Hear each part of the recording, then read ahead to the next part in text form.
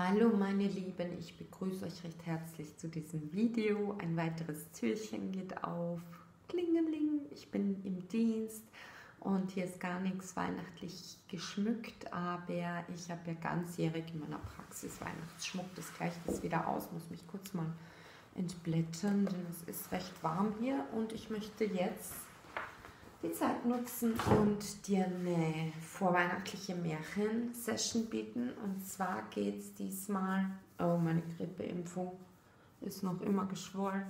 Es geht ähm, um das Märchen Rumpelstilzchen. Ich muss gestehen, ich habe es schon mal gebracht und war damit nicht zufrieden. Und jetzt versuche ich das einfach in ein Video zu packen.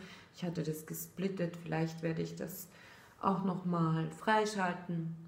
Video ist schon programmiert gewesen, aber ich hatte dann so ein schlechtes Gefühl irgendwie da dabei, das gesplittet zu haben. Und ja, es war ein bisschen ausgeufert. Es ist ja auch eine langwierige Geschichte. Starten wir einfach mal mitten rein. Es war mal Müller und bei dem war der König zu Gast, denn der König hatte eine Panne mit seiner Kutsche und stieg bei dem Müller ab und übernachtete bei ihm, bis das Rad der Kutsche wieder repariert oder gewechselt worden war. Und König und Müller kamen beim Frühstück ins Gespräch und der Müller hatte wahrscheinlich Minderwertigkeitskomplexe, ein schlechtes, fragiles, fragmentiertes Selbstwertgefühl, frag mich nicht, und prahlte sich vor dem König ungemein. Das war nicht besonders schlau von dem Müller, ja. Er sagte nämlich etwas zum König, das er besser hätte vielleicht nicht sagen sollen. Er sagte folgendes: Er sagte, meine Tochter, ich habe eine Tochter, Herr König, die kann Stroh zu Gold spinnen. Da war der König, der natürlich sich weiter bereichern wollte. Wie viele reiche Leute wollte er noch mehr Macht und noch mehr Einfluss und noch mehr Bedeutung suggerieren seinen Untertanen, indem er sein Vermögen noch vermehrte. Das ist ja oft bei sehr vermögenden Menschen, dass sie sich sehr stark über materielle Güter, über Gold, ihr Geld definieren und dass sie auch nichts hergeben wollen und sehr geizig sind, weil sie das Gefühl haben, das bin ich, das macht mich aus, meinen Wert für die anderen definiere ich über mein Haben und nicht so sehr über mein Sein. Und drum war das gleich ein Anreiz für den König und er sagte, okay, schick mir deine Tochter morgen ins Schloss. Der Müller erzählte dem Mädchen davon und das Mädchen ahnungslos sprach dann im Schloss vor. Und der König sagte, okay, Müllers Tochter, ich habe von deinem Vater gehört, du kannst etwas Besonderes, wenn du das aber nicht schaffst, dann dann gibt es die Todesstrafe für dich und deinen Vater. Das Mädchen erschrak natürlich fürchterlich, denn die war offenbar von ihrem Vater, der sie komplett übergangen hatte, nicht gebrieft und sie wurde dann von einem Diener des Königs in eine Kammer, die vollgestopft war, mit Stroh gesetzt und da befand sich außerdem nur noch ein Spinnrad und das Mädchen saß da und weinte und es wurde ihm gesagt, du sollst jetzt bis morgen früh alles Stroh, was hier liegt, zu Gott spinnen.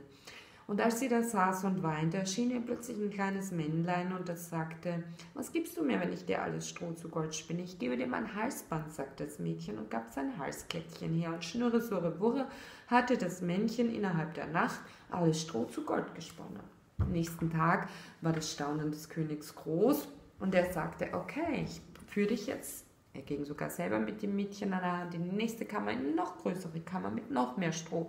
Wenn du es schaffst, dieses Stroh zu Goldspinnen zu spinnen, dann wirst du fürstlich belohnt werden, königlich belohnt werden und dein Vater auch. Wenn nicht, dann, dann gibt es die Todesstrafe. Das Mädchen saß da und weinte und wieder kam das Männlein und das Mädchen gab ihm diesmal seinen Ring im Gegenzug für den Dienst, den das Männchen tat, nämlich das Stroh zu Gold zu spinnen. Am nächsten Tag war der König aber immer noch nicht gesättigt ließ das Mädchen nicht nach Hause zum Vater, sondern behielt es im Schloss und führte es in eine noch größere Räumlichkeit, wo alles voll mit Stroh war und wieder dieses Spinnrad drinnen stand und das Mädchen war wieder sich selbst überlassen. Es weinte bitterlich und diesmal ließ das Männchen auf sich warten, bis es endlich erschien und das Mädchen hatte aber nichts Materielles mehr, nichts Kostbares mehr, das es dem Männlein geben konnte und schließlich sagte das Männlein, okay, ich erweise dir den Dienst, das Stroh wieder zu Gold zu spinnen, aber dafür bekomme ich dein Kind, dein erstgeborenes Kind.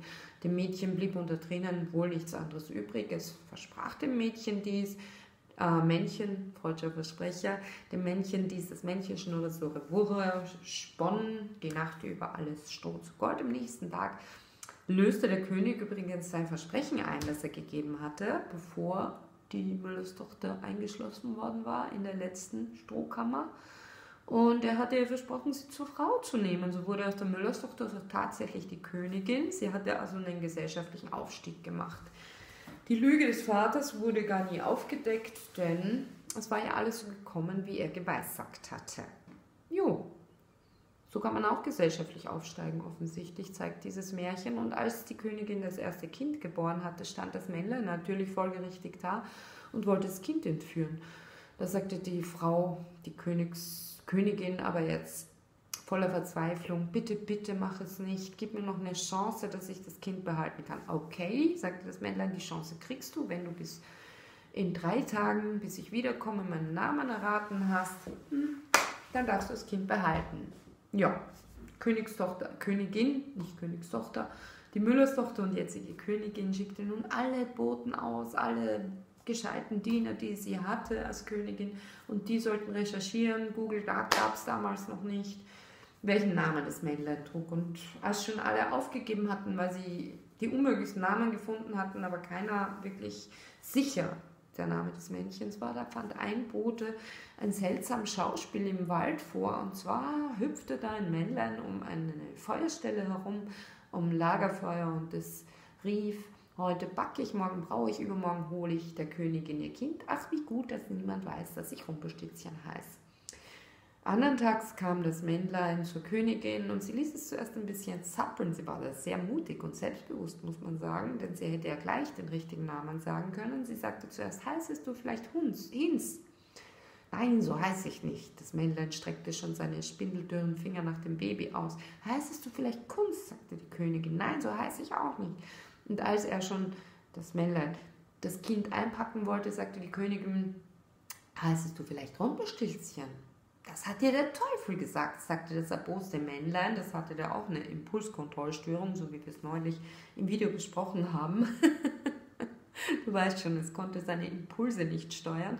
Es hatte den Wutausbruch schlechthin und es riss sich vor lauter Wut an seinen beiden Beinen in zwei und versank dann im Erdboden. Es wurde vom Erdboden verschluckt. So, Königin konnte sich abputzen, ihr tolles Leben als Königin führen, ihr Kind behalten, Happy End, wie in vielen Märchen. Nun noch die Deutung, ich habe so, schon so zwischen den Zeilen ein bisschen mitgedeutet. Also ich habe schon gesagt, der, der Müller, der ist echt ein verlogener Typ, der dürfte dissoziiert gewesen sein, als er dem König gegenüber so aufgeschnitten hatte und nicht nur dissoziiert, sondern vielleicht auch in einer manischen Phase, da überschätzt man sich ja heillos und fabuliert manchmal irgendwas. Also ich will jetzt niemand zu nahe treten, der eine manische Phase ab und an hat. Submanisch sind wir alle Menschen ja ab und zu, zum Beispiel Ärzte nach dem Nachtdienst. Schlafentzug kann zu submanischen, also zu fast schon manischen Zuständen führen und beim Müller vermute ich so einen zumindest submanischen Zustand, dass er sich einfach heillos selbst überschätzt hat. Oder er hat auch, aber da weiß ich zu wenig drüber, ich kenne den Müller ja nicht persönlich, hat er auch narzisstische Persönlichkeitszüge, zumindest eine narzisstische Akzentuierung in seiner Persönlichkeit, dass er so rücksichtslos seiner Tochter gegenüber den König einfach angelogen hatte und eigentlich seine Tochter ans Messer geliefert. Ja, die war dann extrem unter Leistungsdruck und wusste auch gar nicht, wie sie das schaffen soll. Das Männlein nun steht als Symbol vielleicht für diese gesellschaftlichen Zwänge, einfach immer Leistung gegen Leistung zu erbringen und auch für die Unschuld des Mädchens, die es dann verliert, seine moralische Unschuld verliert, ist ja dadurch, dass es die Lüge das Lügengerüst des Vaters abstützt, indem es dann tatsächlich Erfüllungsgehilfin des Vaters, der väterlichen Lüge wird und anstatt einfach dem König ähm, zu beichten, dass der Vater gelogen hat und dass sie das gar nicht kann. Also sie spielt mit, sie ist angepasst, sie ist überangepasst, ja, würde ich mal sagen. Das ist auch nicht gesund. Denn sie gibt sich ja da selber auf und versucht einfach das fiktive Idealbild einer Tochter des Vaters dem Vater gegenüber zu erfüllen. Der Vater hat ja kein realistisches Bild von ihren Fähigkeiten, dass sie fleißig und nett ist, gezeichnet, sondern er hat sie gleich überhöht und einfach eine Leistung von ihr sozusagen erwartet, die sie gar nicht bringen kann, nämlich Stroh zu Gold spinnen. Also eine Verwandlung von relativ wertlosen materiellen Gütern in Kostbarkeiten zu erbringen. Ja. Und der König ist natürlich auch narzisstisch gestört, wie so viele Königinnen Märchen, denn er macht sich überhaupt keine Gedanken über die Not des Mädchens, sondern will sich einfach nur bereichern. Und am Ende, wo sie dann so viel wert für ihn ist, weil sie so viel geleistet hat, vermeintlich sie, es war ja das Männlein in Wirklichkeit, da will er sie erst heiraten und vorher als Müllers Tochter, die eben keine solchen Fähigkeiten hat, nimmt er sie gar nicht wahr, sondern will sie sogar auf, dem Schafott sehen, wenn sie nicht diese Leistung bringt. Also eigentlich ein ganz, ganz hässliches Märchen, weil hier Menschen wirklich nur nach ihrem Leistungsgrad bemessen werden.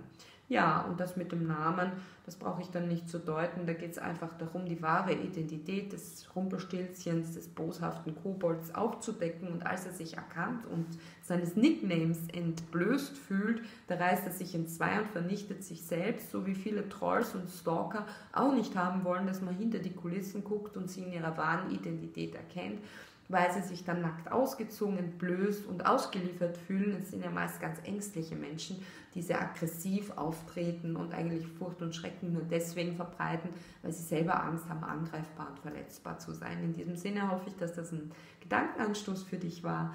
Öffne auch du dein Fensterchen, wenn du einen Adventskalender hast. Ich hoffe, dass dir hinter dieses Fensterchen zu gucken gefallen hat.